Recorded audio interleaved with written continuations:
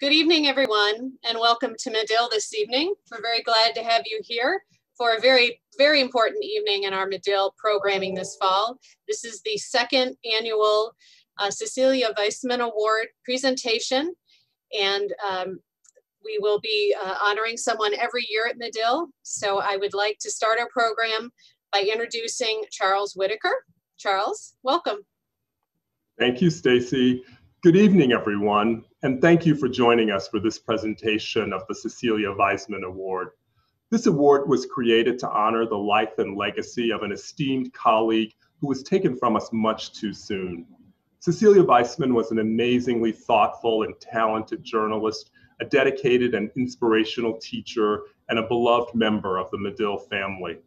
When a group of student leaders came to us several years ago to propose an award in Cecilia's honor, it wasn't an aha moment, it was an of course moment.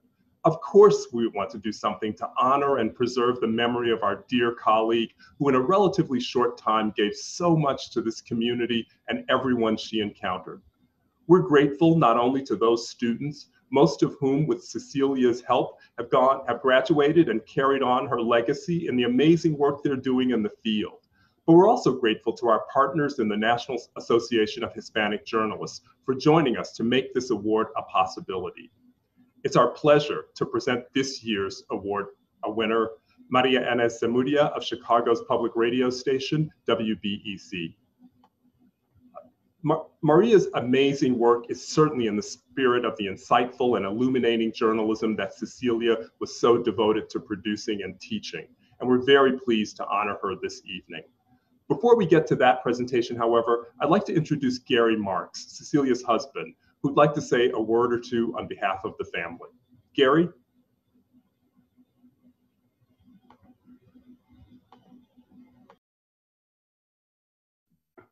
Thank you so much, Charles. I would like to thank Medill, NAHJ, and especially Charles and Mei-Ling for continuing this award in honor in Cecilia's honor.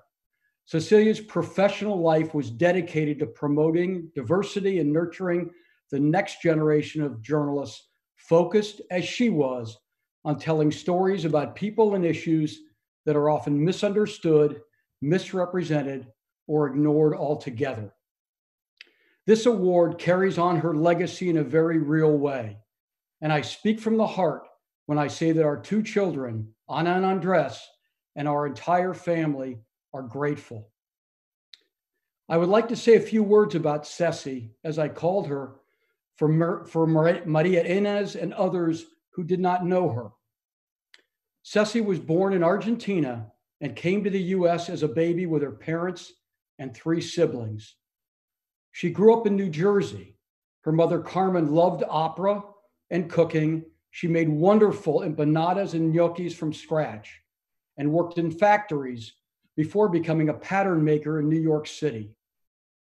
Her father, Adolfo, was a dreamer, a businessman, and a rabid supporter of the Boca Juniors soccer team. Ceci attended Barnard College, where she joined the college radio station and NPR after graduation. Her dream was to produce long form radio documentaries in Latin America, and that's exactly what she did. I recently listened to one of her earliest stories from the Amazon, and Ceci's voice was filled with excitement, wonder, and adventure of a young journalist on the road. Some of us on this Zoom call remember that feeling. It was beautiful. Ceci was an artist, a musician, a great bass player in her youth, and sound was sacred to her. That's why she was drawn to radio, especially the human voice. She was thoughtful, generous, warm, and kind. It has been five years since Ceci's death, and we miss her terribly. Maria Inés, I can think of no one more worthy of this award than you. What is it about your reporting that reminds me of Ceci's journalism? The voices, your piece, pieces are anchored in real people, whether you are covering the impact of the Supreme Court's latest decision on DACA, the battle over gentrification in Pilsen, or Latinos' love of plants. Your stories are powerful because those most affected are the ones front and center speaking to the audience. You let them speak rather than speaking over them. But your stories shall share another element with Ceci's work hope. Ceci and several colleagues did an entire series from Latin America called Searching for Solutions.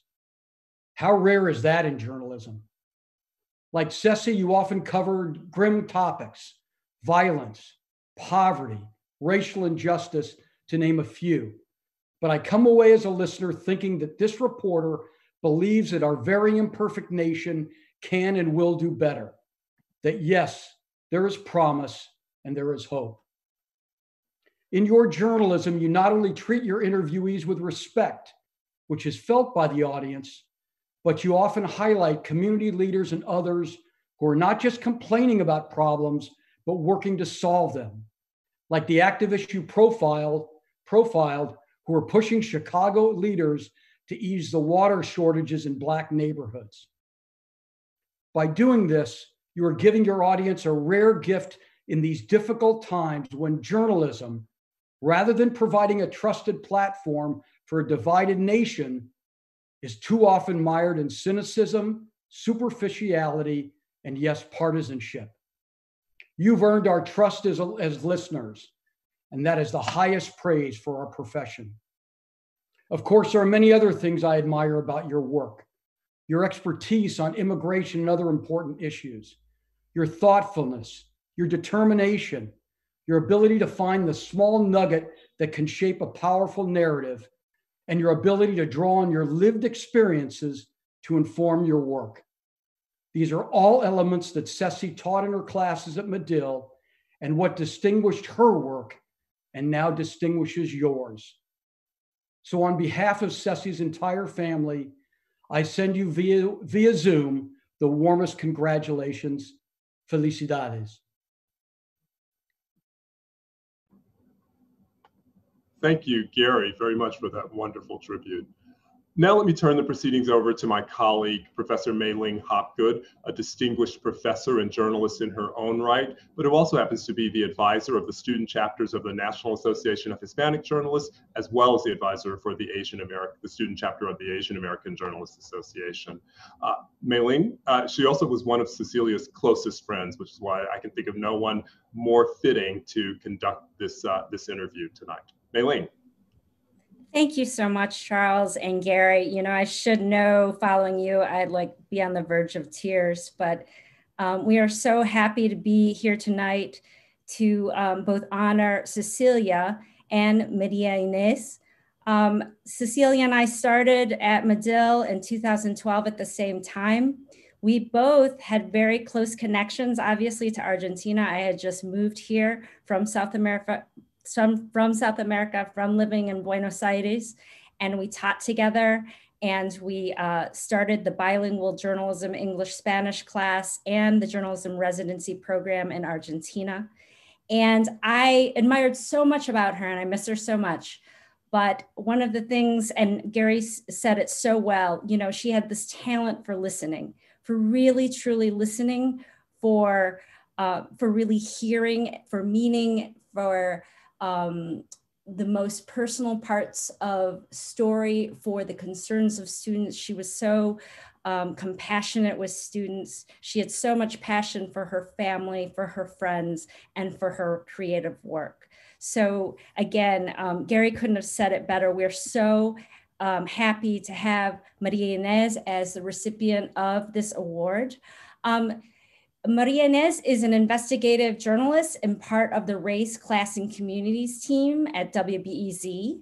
Before this, she worked um, for American Public Media's investigative team. She has also worked for the Memphis Commercial Appeal and the Chicago Reporter magazine. Her stories have appeared in the Associated Press, New York Times, National Public Radio, our own NBC Chicago, um, Telemundo, and Univision. In 2015, she and a team of reporters from Latino USA received a Peabody National Award for their coverage of Central American migrants. And I thought as we begin the conversation with Maria Inés, I would like to play, before we begin the conversation, I would like to play a little clip from that story. I would warn our listeners that this um, these three minutes are very um, are graphic and they refer to um, sexual harassment and assault. So please uh, take care. So this is um, a clip from her story about the plight of women migrants.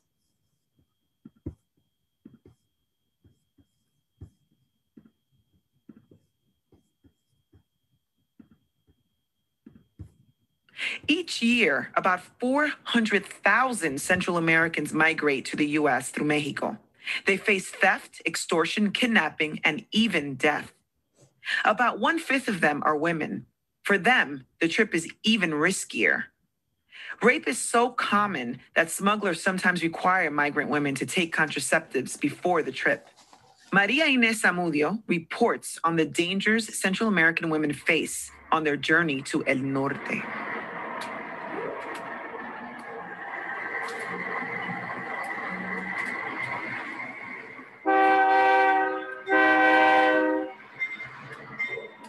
Elizabeth Tobias is sitting quietly near the train tracks about 20 miles north of Mexico City.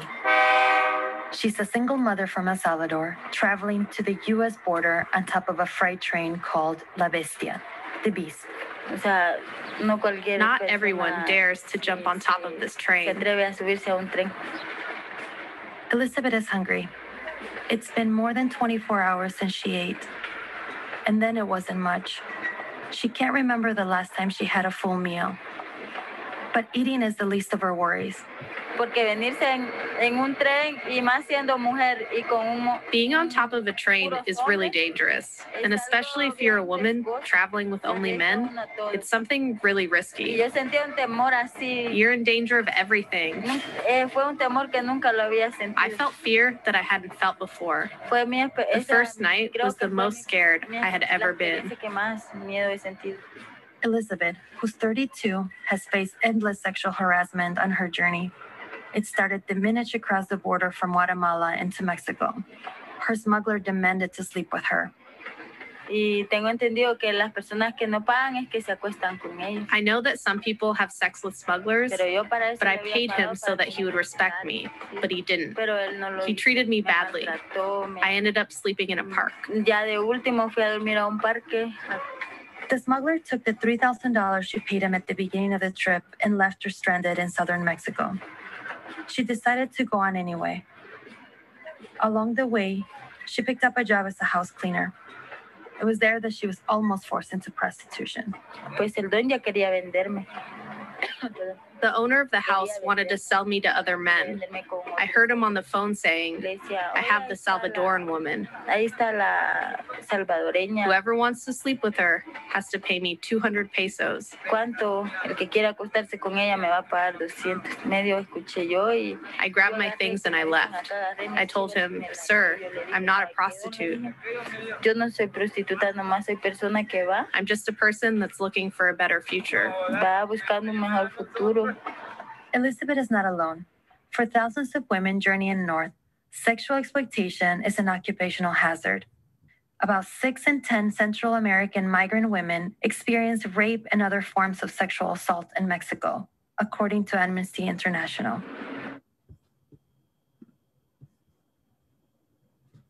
Thank you. Um, Maria Inés, welcome. Hi.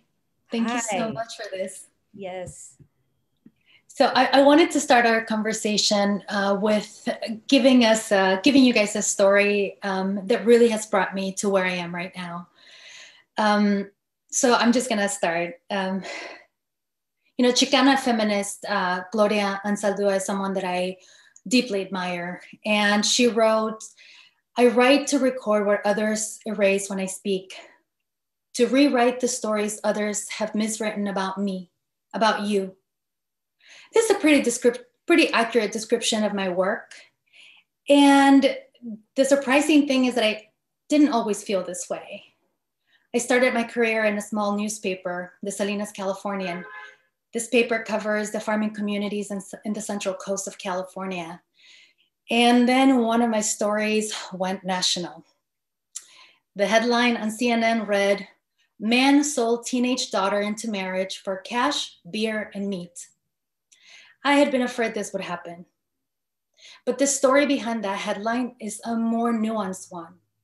It's a story that starts with the influx of indigenous immigrants from Oaxaca, Mexico, into towns like Greenfield, California, where they go to the fields and pick fruits and vegetables. Marcelino de Jesus Martinez was accused of arranging the marriage of his 14 year old daughter to his 18 year old neighbor. Both families are trique. Both families didn't speak English or Spanish. And this type of dowry is normal in their culture. In this case, the dowry involved beer, $16,000, and other items. A trique leader told me that his community is autonomous and women are not forced into marriage. The women always have the option of leaving the arrangement if they talk to their father. As I continued covering this story, it was clear to me that this was a layered one and it would be difficult to report. These indigenous communities in Greenfield were, for the most part, left alone. As long as they worked in the fields, no one bothered them. No one told them, that, no one told anyone in this community that it is illegal in this country for young girls to marry older men. When I covered this angle of the story, actually, I covered every angle of the story, including a front page profile of a beautiful trique woman named Gloria Merino. Gloria's mother died when she was five years old, and three years later, she was sold into marriage. Her life was difficult to hear, filled with pain and trauma, but it was also very hopeful. It was a story about a woman who found freedom, freedom from the men who controlled her and abused her. And she trusted me with that story. On a different night, when I was covering a heated meeting between the local police department that arrested Marcelino and his community, a white colleague and I were covering it. Um, I was there to serve as his translator. And as we drove back to the newsroom, he told me that the little girls I had been talking to before the meeting paid very close attention to me during the meeting. As I took notes and interviewed people, they stared at me. So he, so my colleague told me, Maria, they look up to you. And that's when it hit me. There are so few of us doing this work that we take on a new level of responsibilities. You see, up until up until this point, I had been very frustrated. I was not only covering my own beat, but I was also covering the Latino beat. It, I was very frustrated because I didn't want to be the Latina reporter covering Latino issues. I wanted to be an investigative reporter. I wanted to cover City Hall. I wanted to cover government. I wanted to be like my white colleagues. And working on this story early on in my career, forced me to accept that I would always have that responsibility to cover my community. And that this would be something that I would have to take on in addition to my job, and probably without compensation or recognition. And that's what I've been doing ever since. And that is why I'm extremely proud to receive the Cecilia Vaisman Award. I see this award as an affirmation to my work what I'm doing, not only on the air, on the boards that I serve, supporting other journalists, and silently creating opportunities for other journalists of color matters. I see this award as a message from Cecilia, someone I never got an opportunity to meet, but whose legacy lives on her work and the people that she touched. I intend to keep her legacy alive by telling our stories and creating opportunities for other marginalized communities. Lastly, I want to take a moment to dedicate this award to my mother, Sibelis. My mother has experienced more trauma than I will ever understand. She's dedicated her entire life to her family. She's taught me compassion and resilience. A woman who couldn't go to school, but understood the importance of education when she was criticized for letting her Mexican daughter go to school. She told me, I may not have the money to help you pay for school, but you have my support. Gracias, ma. And to my guiding force, my angel, my sister Alma, who passed away three years ago. And obviously, Cecilia, without her, I wouldn't be here. And for that, I'm, I'm really grateful for Gary's kind words uh, that really touched me. So, Mei-Ling, please, if you have any more questions. Yes, thank you so much. Um, I want to invite our attendees to ask questions. I will I will channel them. We're in a webinar, but we we definitely will see your questions. So please, I hope that I'm not going to dominate the conversation. Um, I was wondering how you ended up doing audio um, storytelling and what you feel about the particular medium. Um, you bring alive so many voices there you know you we can hear them with you. But you know what? How did you end up here? And do you prefer audio? Um yeah. So i you know i started my career in in newspapers and um, and then i moved on to uh, magazines. But really i've always loved audio. In fact um, in college i took um, uh, an international reporting class and we produced a, a, radio story. So it's always been something that I uh, feel a deep connection to. But, you know, I never really pursued it in school. Um, I had this idea of like who I wanted to be. I wanted to be this like investigative journalist that worked for a newspaper. Um, and then when I started traveling to um, Mexico and, and, Central America, doing the kind of reporting that I was doing, um, I bought myself a little recorder and I was like, let me just record everything I can and then figure out a way to put it together. And um, so it became like a hobby of mine where I would, you know, work on a story and then, you know, bring my recorder with me. And, you know, luckily Latino USA has been very, very supportive of me and allowed me to freelance. So I would come back from these reporting trips, uh, you know, do my print story and then, you know, listen to all of these interviews. And I just, I fell in love with that because there is a level of intimacy that you can't really have in print. Um, I clearly remember the story that I produced for Latino USA that ended up um, being part of that show that won the Peabody. Um, there was a couple of scenes that I don't think I could have written those in the same way that I presented them in, in the audio story because um, there's a scene specifically. I had been spending a lot of time in the shelter uh, right at the border of uh, Guatemala and Mexico in Tenosique. And um, so I was the only women journalist. So um, I had an advantage because the women who um, who were traveling um, always slept on like one side of the shelter and no no men were allowed so I got to spend a lot of time with these women and I was recording everything that we're doing. And um, they had this moment when they were like, um, sort of like dreaming and like they were just enjoying being there with each other and they were joking about um, you know they were practicing their english and they were like talking about the things that were going to buy as soon as they got to the us and it was this really intimate like um, moment of these women talking to each other and sharing their dreams and like laughing and and, and, and just feeling that joy of like envisioning a better future for yourself. And I don't think that I would have been able to bring that in print. So in that way, I really love audio because it, it brings um, it brings voices to a different level. Can you tell us about the um, the the origin of that story a little bit? Um, it's so powerful. Where did you did you go in um, in reporting on um, the, these migrant people, thinking you were going to be telling the story of these women on La Bestia?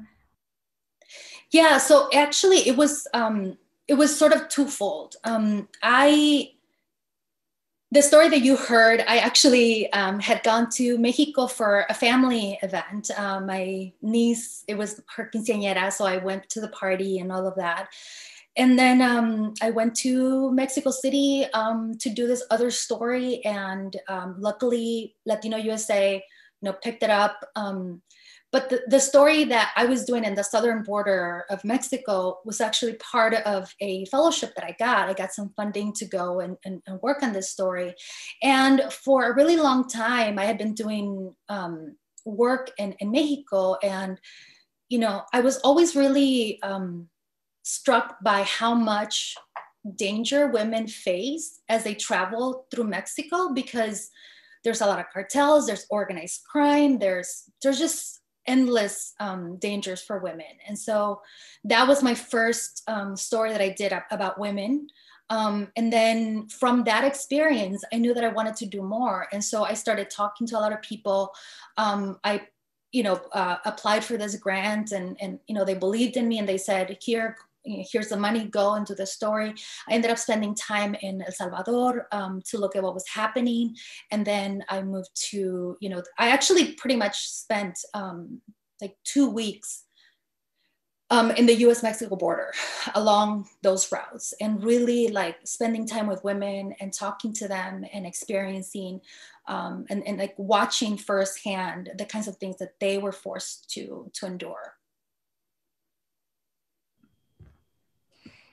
And, and, just as we heard in this clip, you have reported on, uh, you know, also some non-serious things, but some very um, traumatic things. And I and I know a lot of our students worry very much about reporting on subject matter, how to be sensitive, how to take, you know, not um, not traumatize people more than they've already been traumatized. And I wondered if you have any certain um, approach um, that you have built up over time or or what is how do you approach those kinds of interviews and stories?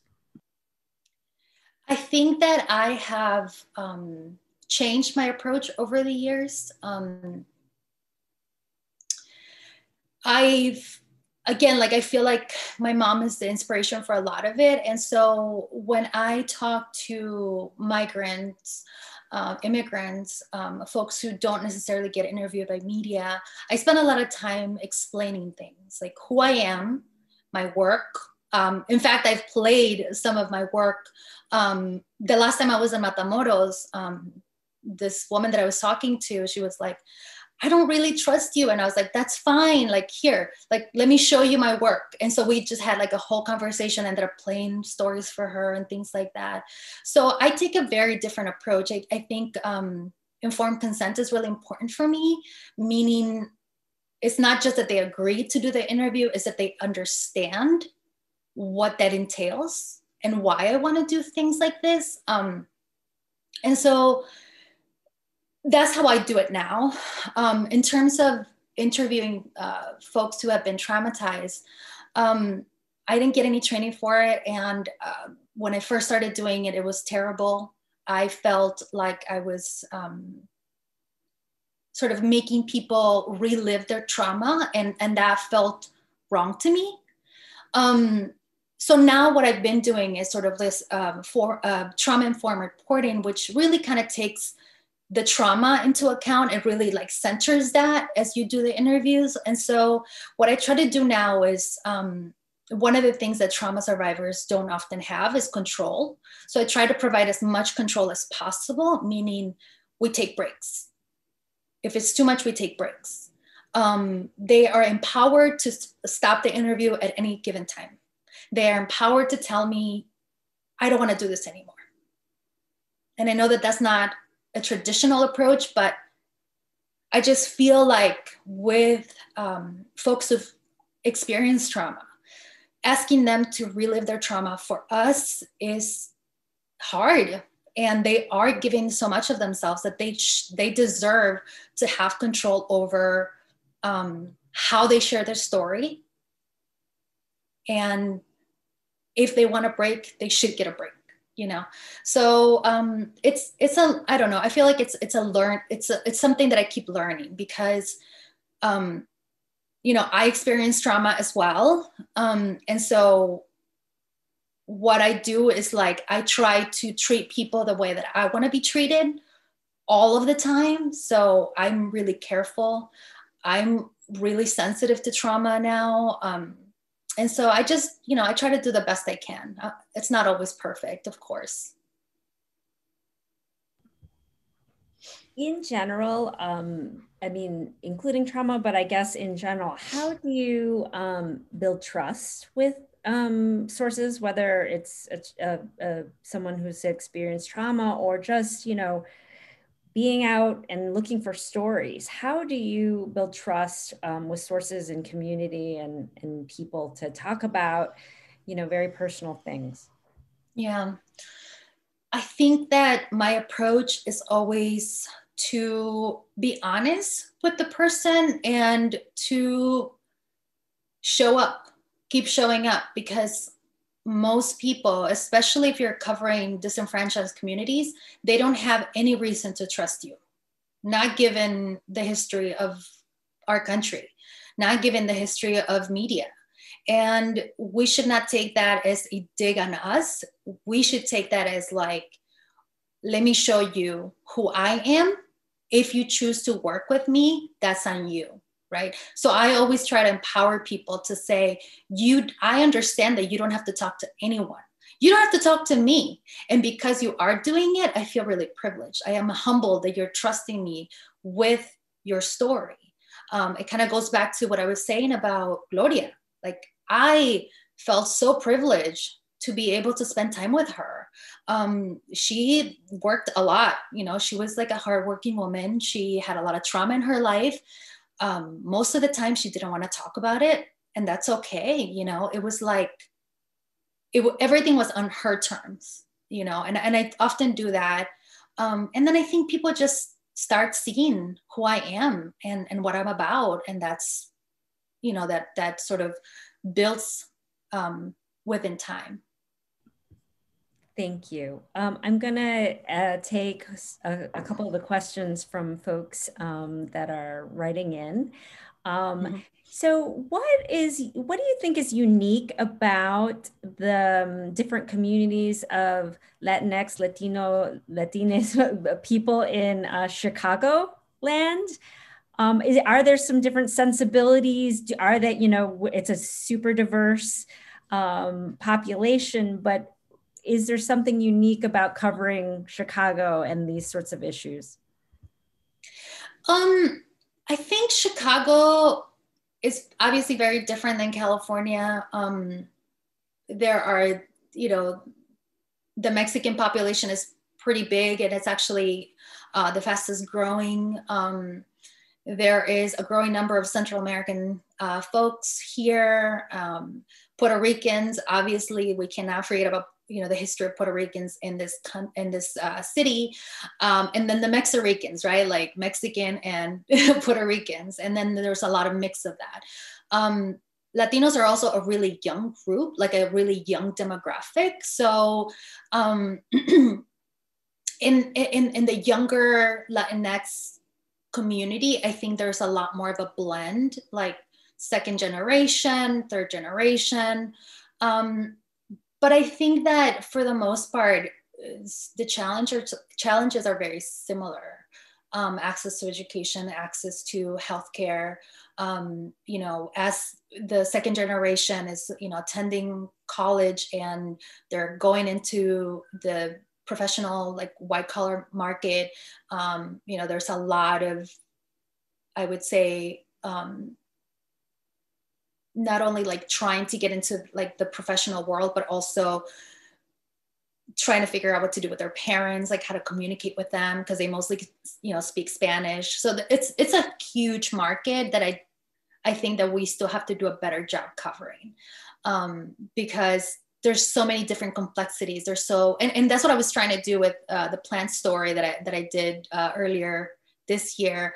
Um, for me it was like i had been interviewing families of people who had, had lost someone to COVID 19 uh, for like four months straight. And I was just really worn out. I was really upset and all of the things. And so I just was like, I need to find something hopeful. And so, you know, I just, I, I mean, I did the story for everyone, but I, I mostly did it for me. I needed a, a, way to keep myself going. I, I needed to remind myself why I was doing this. I needed to feel joy again. And um, I think that um, is that a, like I don't think it's like the specific answer that you're looking for, but I just think that um, it's such a huge population and it's only growing in Chicago. So I really hope that there's much more of an effort to cover that, like second generation Latinx community, um, folks who don't necessarily identify as you know mexican first. Maybe they identify as like chicagoan first and then mexican american second or i mean they have different identities right? And, and i think that there's such beauty and complexity to that that um, i just would love to keep covering those uh, types of stories. On that note, what do you think about all the attention and the, the stories about the Latino vote, the Latinx vote right now? There's a lot of really great Latino journalists doing that work. Um, Arelis over at the Washington Post, uh, Jose del Real, creo, I think that's his name, um, and the Washington Post. And I mean, the LA Times has been doing great work as well um, to try to really break down what that means. Um, and, and, it feels very much like a cyclical um, conversation, right? Um, you know, George W. Bush got a pretty sizable percentage of the Latino vote. Um, a lot of Latinos are very conservative and they're Catholic. Um, abortion is a huge issue for the Latino community, um, but it, we're also very different. Cubans in Miami are very loyal to the Republican Party because of the history that they've had with them, right? the, the you know the bay of pigs and, and, and you know folks being able to come into the country as asylum uh, seekers and, and being able to stay here legally something that most other latinos don't have i mean that that policy has stopped but um, so it, it's it just creates different types of stories and and also it's just like why are we have like why are we having this conversation again like we should be having it every year, every month? Like, how do we um, better cover this community? Because if you look at Arizona, I mean, Arizona is a, a great example. That the Latino community started organizing um, years and years and years ago. Uh, first, to try to get Joe, Joe Arpaio out of office, then against uh, SB 1070, and they just created this like um, culture of organizing around Latinos. And, and, and it was because of that that they turned Arizona blue. And so, you know, it is not one story of the Latino vote, it is different stories. It, it is about region, where they live in the country, where are they from, um, how conservative are they, um, how young are they? Because you know, younger Cubans are not Republican, right? So it's it's a it's a very nuanced uh, story that that we're not really doing except when everybody's surprised you know um, I'm going to take another question from from our attendees. Um, are editors as interested in immigration stories now as they were a few years ago? At a time when the country is so polarized, how can journalists increase understanding of the courage, contributions, and plight of immigrants?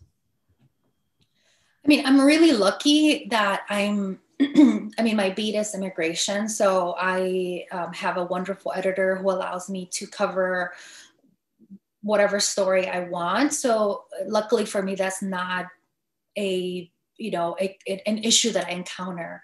Um, I think that we have to do a better job explaining the system so that folks understand why folks are living here without documentation or they fall in and out of status. They live in mixed um, status families. Um, there's so many different layers to that story. And I think that um, that is really what is missing. So, for example, I, I just did a story yesterday um, about how the Trump administration fundamentally changed the immigration system and how he was able to do that bypassing Congress by using executive orders. He signed over 400 executive orders that changed everything from who gets to ask for asylum and where, um, res- like uh, restricted legal migration greatly. Um, I mean, every like every single aspect of immigration. And I think that people just keep having this idea like, fix your papers, get in the back of the line, um, marry someone. Um, you know, even in, in, pop culture, you know, this this idea that um, the people who enter the country without inspection can just find an American citizen, marry that person and become, you know, and, and easily become a, a, legal permanent resident is, is a wrong story. I mean, it's it's wrong, and I think that that is at the core of why we're not even able to have a, a meaningful discussion about migration in this country because we don't understand it. So people are talking over each other about things that they don't understand. I think that that's that's the real problem. And so when i when i cover immigration yes it is a story about people but it is also a story about policy and policy really matters. Um, so i center a lot of my reporting around policy so that folks understand. Um, and it, it, at the very least it has to be part of that right? But um, i just fundamentally like stories about immigrants are important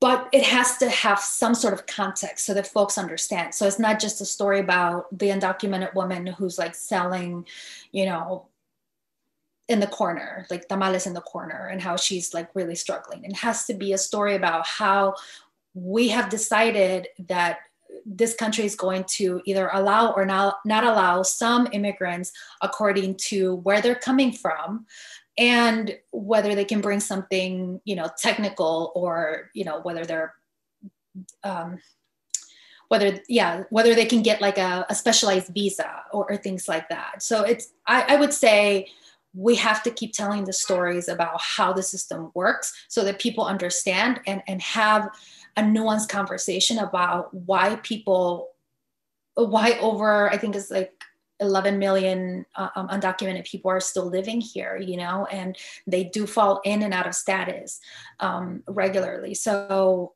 I would say that's what we're missing, that we're not really having the same conversation because we don't understand how the immigration system works in this country. Thank you. Um, another question from our attendees, and I would encourage folks who are watching us to continue sending them in. Um, thanks for being with us and for the reminders about best practices in interviewing and trauma survivors. What advice do you have for those of us doing that reporting across lines of nationality or gender or language or ethnicity or race or all five? Yeah. Um, I think there's a number of organizations that have put together best practices for uh, trauma informed reporting. Um, you can actually find it in, in Borderless Magazine. It's a, it's a local magazine that um, tries to tell the stories of um, immigrants in this country, uh, in Chicago specifically. And they have a very useful like tip sheet on, on ways to report on communities of color, um, immigrant communities, and things of that nature. I believe the Dart Center also has a very useful um, guide for, um, you know, how to deal with an interview when someone has been traumatized or has experienced trauma. So I would say those are some of the, the, the, the most um, important um, resources. But I also would say that like, most journalists should really think about their own privilege as they're coming into a space and uh, really name it and, and, and really be aware of it because um, we do have a lot of power. We get to decide which part of the story um, is shared with the world. Um, we have the power to um, really ha- like make this person uh, go through a really difficult experience if we are not careful with what we say.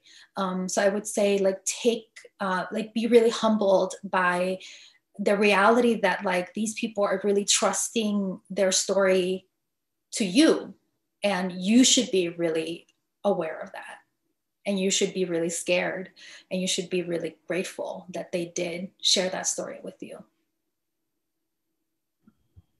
What do you think about? I mean, obviously, there's been reckonings on many levels on different subjects in the last, you know, year, but more than that. Um, the critique of newsrooms all over the U.S. of the lack of uh, brown and black um, reporters and editors and staffers, and sort of the, I mean, even among uh, the Chicago newsrooms, right? um, how is our representation versus you know are we are are our newsrooms representing the communities that we cover. Um, what is your feeling about um, what's happening in the industry and, the, and what's being discussed and, and the changes or no, not changes that we're seeing? I think that the public reckoning that is happening in journalism is something that journalists of color have been sharing with each other. They've been doing that for years. Um, we just have different tools to use. Now we have Twitter, where you can have your own audience and have your own voice and say, like, this is what happened, and this is the kind of stuff that I've been encountering. Um,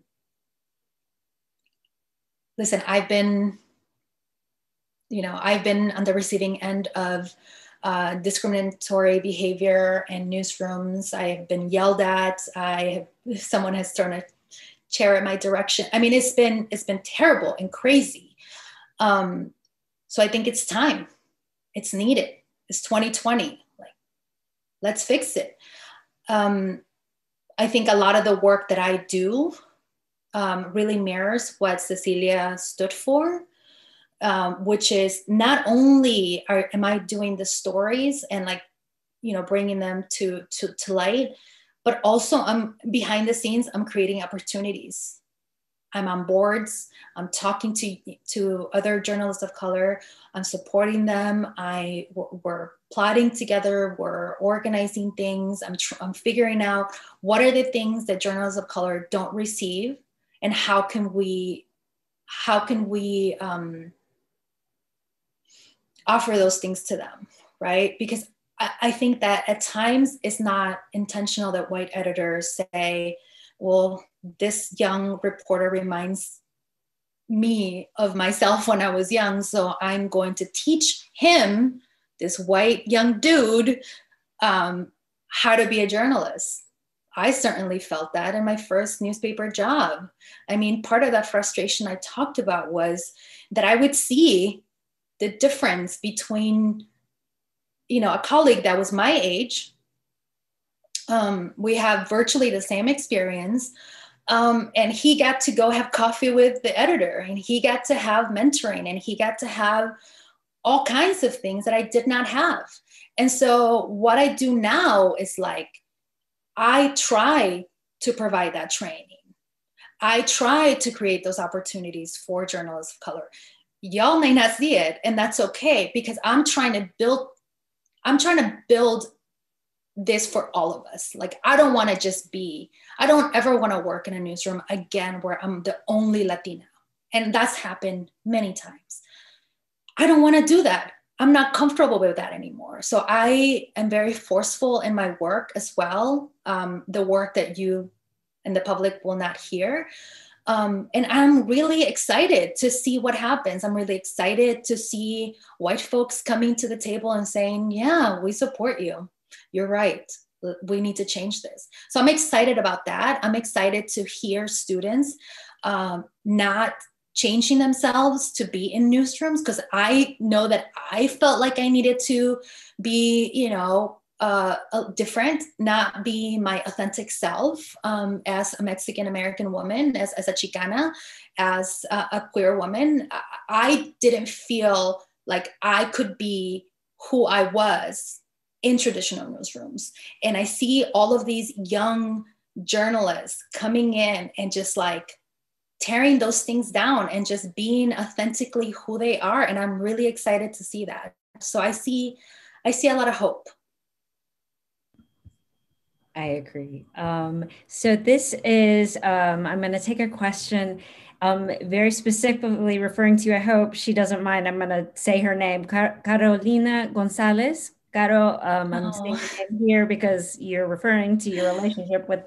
Congratulations again on the award. I miss working with you and learned so many things that I'm now putting into practice every day. When it comes to talking to sources on the phone now that we might not be able to go in the field uh, to report, what advice can you give us to be able to create that relationship and build that trust with them? And I'll add, how do you do radio when you have to do so much phone reporting? Or, or is that how you're doing it? So first of all, Carolina was uh, a student that I worked with earlier this year. She is incredibly talented and amazing, and I was very blessed to work with her. Um, to the question about telephone, it, listen, it is it has been extremely challenging working from home during this pandemic. Um, at the beginning of the pandemic, our newsroom um, leaders were very thoughtful and wanted to protect us. So they told us um, to really try to work from home and not go out at all. And so we got a lot of support and, and you know, we like set things up and um, I think I got used to it by maybe like April, May. Um, and then thankfully the spike started going down and, and then we got a, um, one of those boom mics. Um, so I was using those um, during the protest and um, I did go out to report stories of Chicagoans living without water during the pandemic and I was using that big pole um, and so it, it's been really difficult you know like over the summer i had like three construction sites around my apartment and it was like let me go outside and like beg these workers to stop for 15 minutes so that i can go voice my story in my closet. It was it was interesting. Um, so i think that it's really difficult to have that intimacy over the phone. It's really difficult to get people to open up over the phone. Um, I've done some Zoom interviews, um, and they've been really helpful. Like I remember this interview with Julie. Um, her father died of COVID 19, and I found her because um, finding people in Little Village was very, very difficult so I ended up writing letters um, and deliver them to the houses of, uh, well, the, the, last known address of the person who died of COVID. So she called me when she got that letter and said, like, yes, I'm, I'm willing to do this interview. Um, let's do it. So I told her, like, I'm sorry, we can't meet in person. Let's do it on Zoom. And so Zoom was really helpful because I could see her and she felt comfortable enough that she started crying and that she, you know, felt a lot of pain, not only because she lost her father, but because she, because he died in his apartment. He couldn't even make it to the hospital, you know?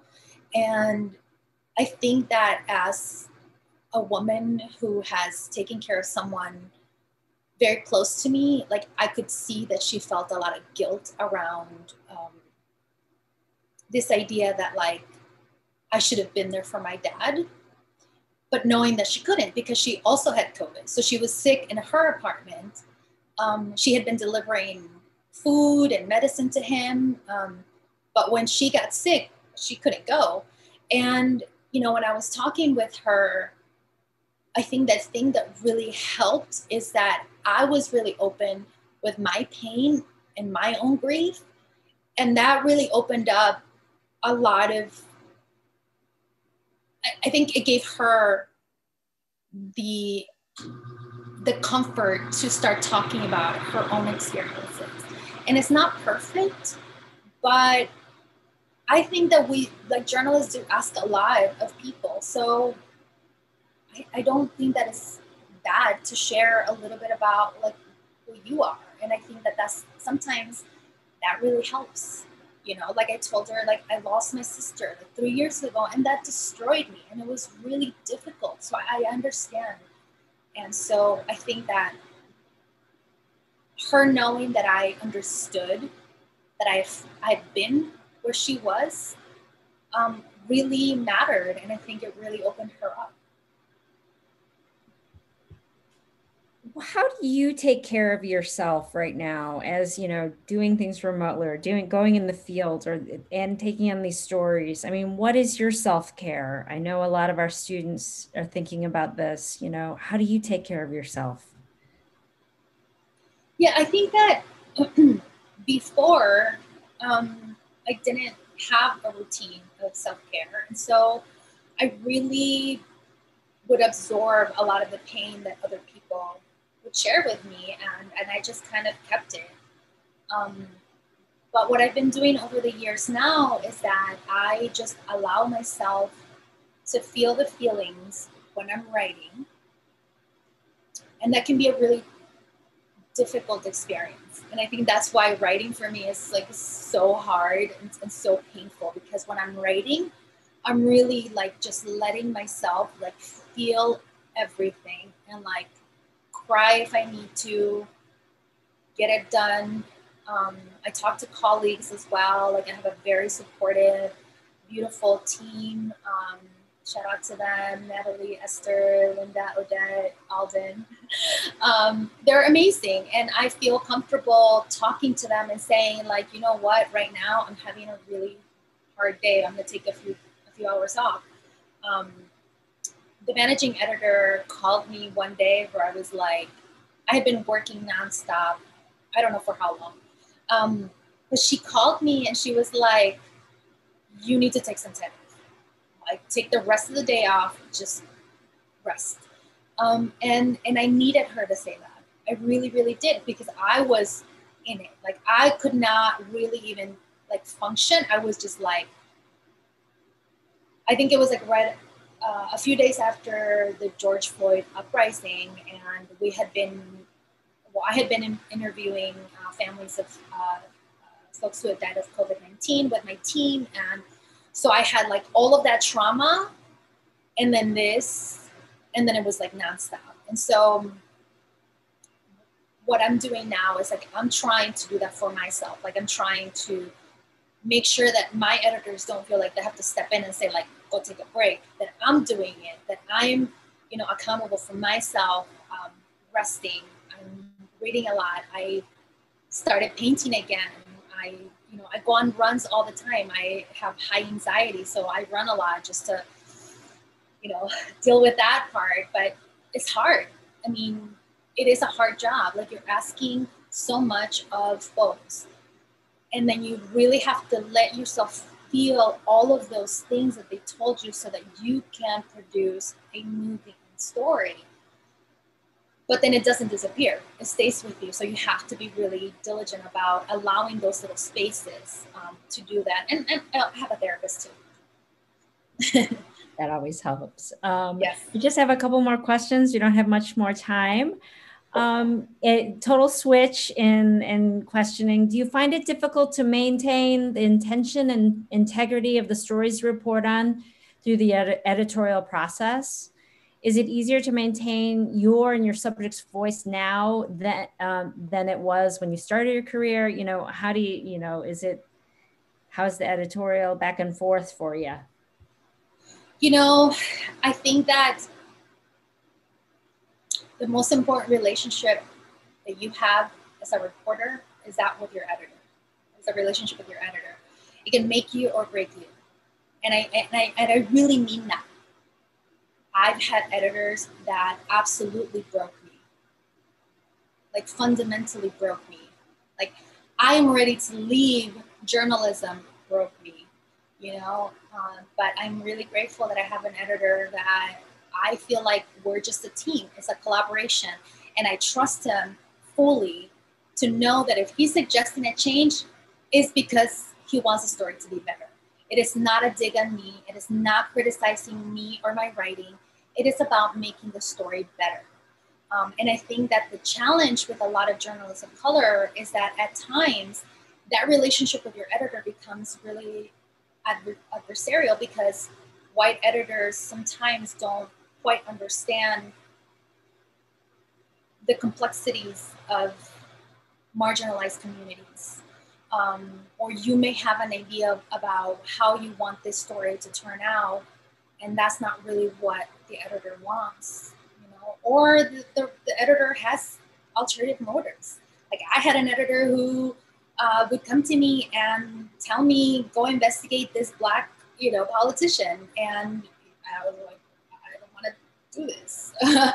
but it's it's um you know it's really important for young journalists especially to understand that you have to have that trust with your editor like work really hard to get that but if you feel like your editor doesn't, that, that your editor treats you differently because you're a person of color or a woman, to take a step back and try to figure out a way for you to work on your craft and try to have like a regular, like more amicable relationship with your editor, but one that doesn't question your abilities. And that's an important distinction because once you start doubting your worth, doubting, you know, whether you can do this job, everything goes out the window. So for our final question, I'll mix a, a question from the audience with my own riff. Um, do you teach, you, refer, you refer to Caro and working with her in the newsroom, but do you teach and um, what, you know, what is your, um, uh, any message for young um, young journalists who are aspiring to do the work that you do who um, what how do you approach mentoring or teaching? So i guess first teaching and you know any message for a method and message for students and people who work with students. So i haven't been teaching. Um, i worked with carolina on a story. Um, i worked with her on a story and um, you know i really saw it as a partnership um, and I have been really lucky to have really great mentors. And so I really believe that I have to give back what I've received. And so I try to be really supportive of uh, young journalists of color, especially in Chicago, because we have a very small community. We sort of all know each other. Um, and I feel like I have a, a sort of a gift um, in terms of understanding where people are mentally. So, for example, I went to go cover a, um, a press conference a few months ago, and I ran I ran into uh, a friend of mine who is younger than me, um, and noticed a few things. So, you know, I went and filed my story, texted him, "Hey, how's it going? How's your new gig?" All that good stuff. And um, I was like, let's go for a walk. I'm going to walk my dog. We live in the same neighborhood. So we, we were talking and quickly understood what, what was happening. And so we were able to talk through things. I was able to share how I had been in the same situation and like what are the things that I tried to do to get out of that. Um, and, and some of the resources that I use and some of those things. And, um, you know, like and then I, I, came home and, and he was like, thank you. Like, uh, that's exactly what I needed. Um, so I think that what I try to do is um, provide help, create opportunities. So I sit on the board for the Headline Club. And so uh, this year, um, I organized FOIA Fest. And one of the things that I wanted to do is make sure that more journalists of color attended. So I ended up getting some money from McCormick. Thank you, McCormick. Um, to, to, uh, to be able to bring people, um, journalists of color, to this very like useful training. It was, a, it's a, a full day of workshops around the freedom of information and how to use it on your reporting. Um, and I was able to give out free tickets and I was able to provide that like space. And, um, you know, I know the founders of the Ida Wells uh, Society and I've done trainings with them. I'm trying to figure out a way to bring them and do some training in Chicago again in the next couple of months. So I'm always thinking about like ways to teach, ways to help, um, ways to support each other. Um, I don't really have like a formal training or anything like that. I just know what worked for me. I know what was missing for me. And so I'm just trying to like fill in those gaps. And for our, our final question, just um, this is not a few word question, but where do you think um, you'd like to see your career go? And where do you think you'd like to see journalism go? What do you see? You know, it's such a fraught time, but you know, what are you hoping happens or what do you see happening for journalists and for yourself? Yeah, I think that we're in this really weird area of we are not speaking the same language in this country because we're not even using the same sources of information. And it's really fractured and it's really divided. Um, and I, you know, I have my moments of despair um, and planning for the worst because I'm a pessimist. Uh, but the hope that I do see is that there's a lot of people looking for information. There's a lot of need for that information. And so I see young people like really, like, I follow some people on Instagram that are really young and they're like out in the city getting information, like uh, interested in learning about FOIA work, um, just like really smart, and they have a computer in their hands, like, and that is really powerful. So I'm I'm really excited about like how do we bridge that gap? Like how do we reach to reach out to those folks who are looking for that information? Like how do we talk to them? How do we build a a um, you know, in, in my case, how do we build a station that is bringing in more audiences? How do we bring uh, folks in? Like, how do we answer the questions that they have? How do we create stories that move us, um, that move us into action? Um, into fixing the things that need to be fixed. Um, and, and, I see a lot of opportunities uh, because there are so many untold stories. And a lot of those people are taking to social media to tell their own stories. And so, like, what would it look like for us to partner or like to harness um, the, that desire to share stories? Um, so I see a lot of really great possibilities. I think that is really going to um, is really going to come down to whether people are ready to face the fact that we need more diversity in the newsrooms. And I, I don't just mean let's put out a statement. Yes, we agree. I mean, are you willing to give up your power so that more diverse voices come in? I don't think we're ready to have that conversation. I don't think most people want to have that conversation. But that is where where we are. I see a lot of hope, but I also think that the reckoning has to happen with everyone. Well, thank you so much and congratulations. Thank you, Mei-Ling. It's been wonderful. And thank you everyone for joining us tonight. Have a good one. Adios. Ciao. Bye.